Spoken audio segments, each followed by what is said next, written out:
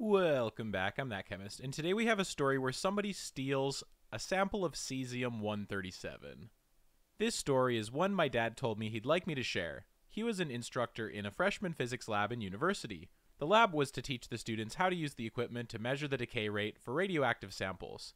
In this case, they were using cesium 137 samples packed in a metal cylinder that shielded the beta radiation with only a small hole that allows for some beta radiation to escape, so that it can be measured without irradiating everything around it. See below. One of these students decided to sneak one of these samples out to show his friends, so this idiot took one of the samples, put it in his pocket, pretended to leave to use the bathroom, and never came back. When the lab was over, there was a panic when one of the samples was missing. They eventually connected the dots and figured that the guy stole it. After a manhunt, they found him and the sample in his pocket about four inches away from his fullerenes, a part you really don't want to expose to ionizing radiation. The cesium 137 sample was recovered, and the thief was given a health check, then got into big trouble. The event was recorded as an official radioactive contaminant incident. Though he passed the health check, to this day, my dad still wonders if this guy has developed health complications due to his actions during that day. You know, it's definitely not a good idea to put a radioactive source that close to your fullerenes. I hope that the guy didn't suffer any long term health consequences. It's definitely not a good idea to hide radioactive samples next to your body. This is an image of what the sample looked like. It's just a metal cylinder containing the source inside. This is today's Yikes awardee. My chem teacher's story. When she was in high school, this is in London, she was in a poorer one, and they were doing some experiment slash practical lesson with bromine. We did one too, I believe it was a simple throw in some magnesium hydroxide and observe the reaction. And some dude decided it would be funny to inhale the bright brown bromine gas, and he got rushed to the hospital and had severe lung issues since, asthma esque. Since he just snorted bromine gas, apparently, after a while, he either got cancer or some lung disease probably due to it. Another story was one kid using a burette as a javelin and obviously shattering it and then getting suspended, I believe. You definitely shouldn't be fooling around with bromine vapor. That's not something you want to breathe in. And when you give in to that temptation, this is what happens. Now, sometimes chemistry can get you into some pretty hairy situations, but today's sponsor will help get you out of hairy situations. This video is sponsored by Manscaped. You may know that Manscaped has all sorts of products to keep your fullerenes free of pesky substituents, but did you know that Manscaped is now going beyond the buckyballs with their brand new Beard Hedger trimmer for your face? Beard hairs may be good for recrystallizations, but are you tired of being called a neckbeard by your coworkers? Then this Beard Hedger by Manscaped might be perfect for you. With a powerful 7200 RPM motor, this beard trimmer is ready to tackle even the thickest of beards. The trimmer features a 41mm titanium coated T blade for a comfortable trim. Check out the new Beard Hedger Pro Kit, a complete beard maintenance kit for the modern man. The Pro Kit includes the Beard Hedger, beard shampoo, beard conditioner, beard oil, beard balm, a travel bag, as well as a free gift. If you're looking to step up your grooming routine, go to manscaped.com today and get 20% off plus free international shipping when you use the promo code THATCHEMIST at checkout. Make sure you use the code THATCHEMIST so that Manscaped will know you came from here. I want to thank Manscaped for their support of this channel.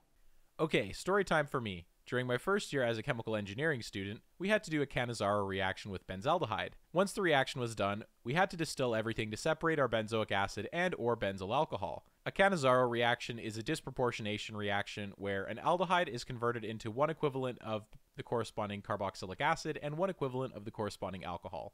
This is what the Cannizzaro reaction for benzaldehyde looks like. It was a cold day, and our products would only boil around 200 degrees Celsius, but to achieve that temperature, our dry sin had to be around 250 to 300 degrees Celsius. In a loud pop, one of the alcohol thermometers in the dry sin exploded violently, shooting glass shards all around. Luckily, no one was injured, and alcohol vapor in the room. We were lucky to have not used the old mercury thermometers. The scent of alcohol was still in the air for a good time. Close to the end, a cold drop of benzoic acid that had condensed on the side of the glass before the refrigerant rolled down the side of my flask, making it explode too. Almost pure benzoic acid in the flask ended up on a 350 degrees Celsius dry syn, evaporating instantly and filling the whole room with acid fumes. Of course, they only had fume arms and not fume hoods. I believe a fume arm in this instance is one that just wafts away the smell. Between the alcohol and the acid, we were both tipsy and crying after that day. This is a really unfortunate story. I'm not too sure what the students could have done here to avoid this from going wrong. The only thing I could guess is maybe they were heating a closed system, in which case, make sure you always have an open system and make sure you're not heating something in a closed system. I was a lab helper for about a year, and one of my jobs was making sure all of our solvent waste was LSC tested for radioactivity. Well, someone at work tried to play Tetris and did a really bad job of it. It didn't look like anything was wrong from the angle I was standing at, so I moved the front of the 10 liter jerry can when lo and behold, a bottle of 10 liter radioactive waste goes flying, hits the floor, and the lid busts off, spilling all over my legs and shoes and the floor. Thank the gods my coworkers heard me scream, Someone get the spill granules now! And they came running in with them, containing the spill from going under our benches. I don't think I've ever run away so fast in my life, and I just threw my lab coats, boots, socks, and trousers off and showered myself off. We keep extra trousers at work just in case we ever have visitors who happen to not have trousers on. I had to wear these massive chef trousers and go chat with my manager about what happened. Luckily, it was solvent waste and not the HPLC waste, because the radioactivity was minuscule and not even enough to have to throw my clothes away. Let's just say I got very, very lucky that I didn't start glowing in the dark. Anyway, lab coat and jeans and boots saved me, along with my quick sprinting skills. I've never run so fast. I'm glad to hear you dodged a bullet on this one. If you act quick enough and you get to the shower fast enough, you can minimize a lot of the damage that would occur. Yo, Iranian guy here. I remember this when I was passing by my school the other day. Our school was shoddy and poorly built, with a total lack of funds for the experiment and science department. The lab we had consisted of a single 2.5 by 4 meter room with a single lab table in the middle that had a burner, a basin sink, and a bunch of cupboards and drawers. There was no fume hood or even a fan to vent any gas buildup. The only way that any air would be vented was through a moldy wooden window that led to the woodworking workshop in the back. During my three years in that school, there were countless times that students had to leave the room because they inhaled irritants or gases that were either cytotoxic or oxidizers. Our chem teacher even did a large number of flame tests with metals, hydrogen peroxide reactions, and even stuff with hydrochloric acid and I think chlorine at one point. And this one time, we were doing a burn reaction for something, I can't recall exactly what, since it was ages ago, which didn't allow students to bring in food with them. But since this was after PE, some dumb kids thought it would be a good idea to bring cookies with them. In the end, I think the vapors either corroded their food or caused a toxic reaction. There was a lot of coughing and a lot of drinking water.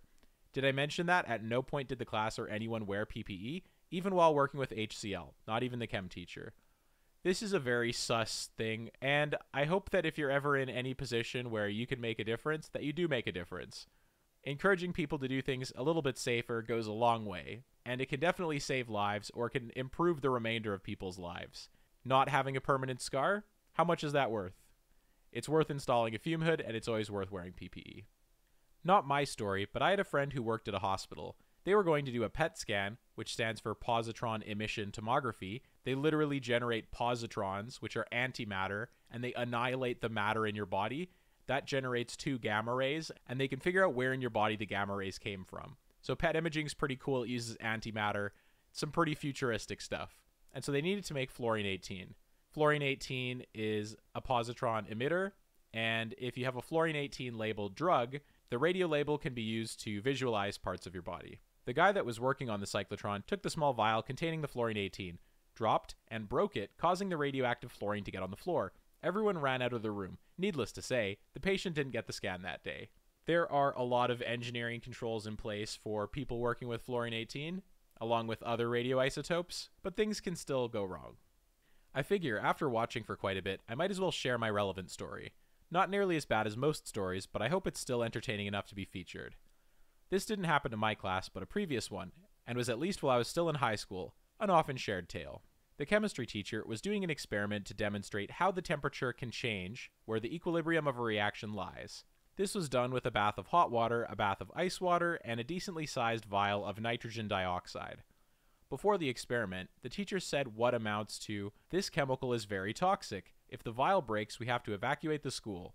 The experiment goes as usual, until after putting the vial into the hot water. He attempts to take it out with his hands. He burns himself, and as a reflex, throws the vial. It lands, depending on who you ask, on the desk of the first or second row of students and shatters. He simply opened the windows and continued with a new vial. A couple years later, we had him in our country's equivalent of AP chemistry class, and luckily with us, the experiment went without a hitch, although we still got many memorable quotes from him, such as when we were doing a series of experiments to determine what substance we had. This is what he said As many of you have figured out, this is sugar. Back in my day, a common test was a taste test, which would have revealed that rather quickly, but then again, chemists didn't get to 50.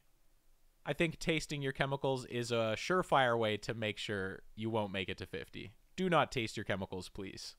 The only chemicals you should be tasting are food grade ones that are safe for you to eat. Always wear goggles, guys. I got some spaghetti sauce in my eye and it hurts like hell. Thanks for watching, and I hope you have a great day.